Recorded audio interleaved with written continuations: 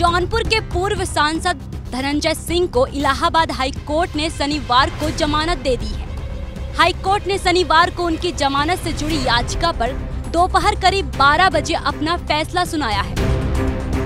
Court ने अपना फैसला सुनाते हुए उन्हें जमानत तो दे दी, लेकिन सजा पर रोक नहीं लगाई है। इस वजह से पूर्व सांसद अभी चुनाव नहीं लड़ पाएँगे। धनंजय सिंह को जौनपुर की स्पेशल कोर्ट ने सात साल की सजा सुनाई थी। इसके बाद उन्होंने कोर्ट में इस फैसले के खिलाफ हाई कोर्ट में पिछले महीने याचिका दाखिल की थी। इस मामले में सुनवाई पूरी होने के बाद कोर्ट ने 25 अप्रैल को अपना जजमेंट रिज़र्व कर लिया था। अब शनिवार को कोर्ट ने इस मामले में अपना फैसला सुनाते हुए उन्हें जमानत दे दी है।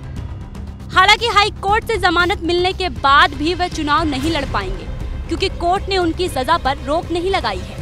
कोर्ट ने पूर्व सांसद की सजा पर रोक लगाने से इनकार कर दिया है। इस मामले में हाई कोर्ट के जस्टिस संजय कुमार सिंह की सिंगल बेंच ने फैसला सुनाया है।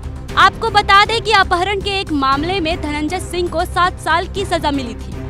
धनंजय सिंह ने इलाहाबाद हाई कोर्ट में अपील दाखिल कर ट्रायल कोर्ट के फैसले को चुनौती दी थी। वकीलों ने कहा था कि उनका मुवक्किल सियासी साजिश का शिकार हुआ है।